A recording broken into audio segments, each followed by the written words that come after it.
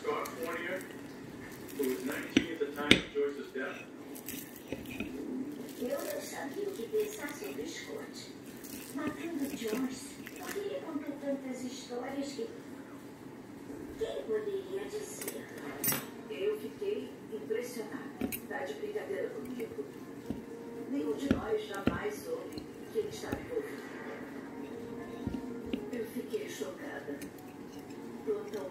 Chocada. Scott enganou as pessoas por mais de 30 anos. Então os promotores se preocuparam se ele também poderia enganar o juiz.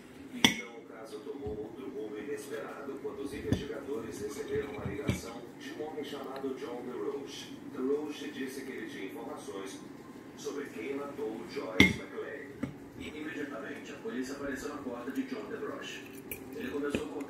Policiais que conheceu Scott Fournier em 1989, nove anos depois da tragédia. John era o supervisor de Scott.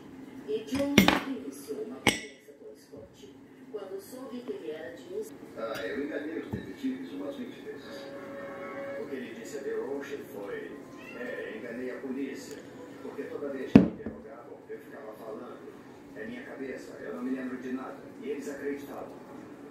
O fato de que Scott Fournier, em 1989, estava fornecendo informações de que ele foi capaz de enganar os investigadores foi significativo, porque ele agora estava dizendo: Eu me lembro do que disse em 1981. E desde 1981 eu tenho conseguido desviar a.